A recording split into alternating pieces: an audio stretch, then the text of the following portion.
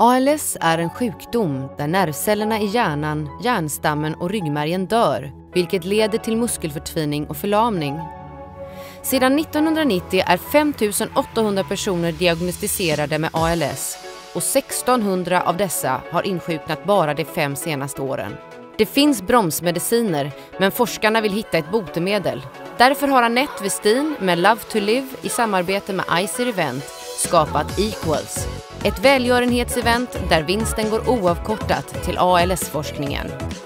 På scen finns ALS-teamet från Sahlgrenska universitetssjukhus och en skön mix av ståuppkomiker som Oskar Nilsson, Katarina Alfredsson och Filip Hjelmer.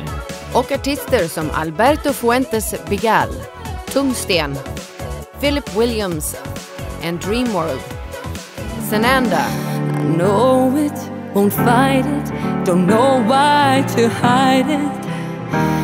Cause I believe in something more. Roger A.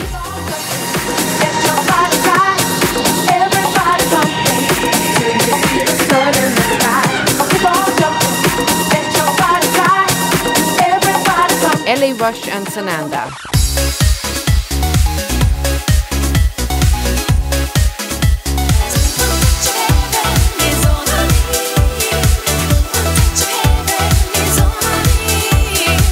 Och Interface.